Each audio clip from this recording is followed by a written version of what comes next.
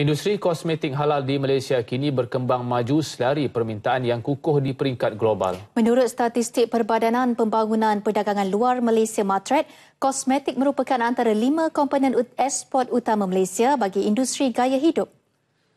Nilai ekspor bagi industri tersebut mencatat pertumbuhan konsisten tahun demi tahun dengan jumlah ekspor keseluruhan antara 2011 hingga 2016 mencecah 12 bilion ringgit. Menyedari potensi industri kosmetik halal ini, Mary Jadin Artisan Kosmetik yang diterajui pasangan suami isteri Dr. Mariam dan Dr. Atik Marzuki meneroka peluang pasaran. Tapi sebab ada minat ah, dan bila dah lebih kurang hampir 3 tahun saya jadi dropship ke produk lain dan saya nampak ada potensi sangat besar kan bila kita berbisnes untuk jalan ekonomi. Ah, dari situ saya bermula untuk ah, buat produk saya sendiri. Kini jumlah jualan syarikatnya mencapai sehingga RM500,000 hingga RM1 juta ringgit sebulan. Bagi 2018, beliau menyasarkan jualan terus berkembang sehingga RM5 juta ringgit sebulan menjadikan keseluruhan jualan tahun ini bernilai RM60 juta ringgit.